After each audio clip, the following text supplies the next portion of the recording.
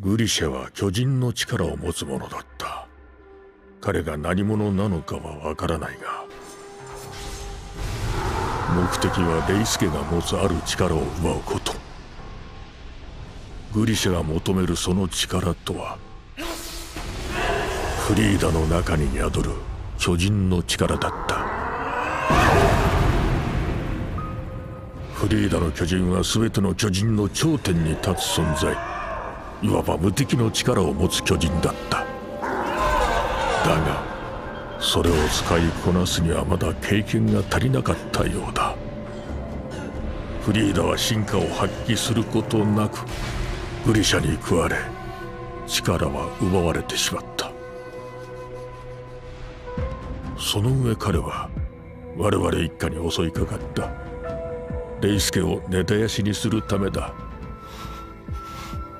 14歳のディルクと12歳のエーベルを叩き潰し10歳のフロリアンを抱えた妻ごと踏みつけ最後は長男のウルクリンを握りつぶした。くしくもその場から生き残ったのは私だけだった。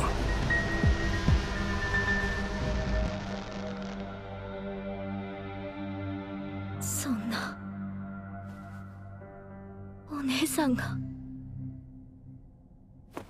どうしてそんなひどいことができるの？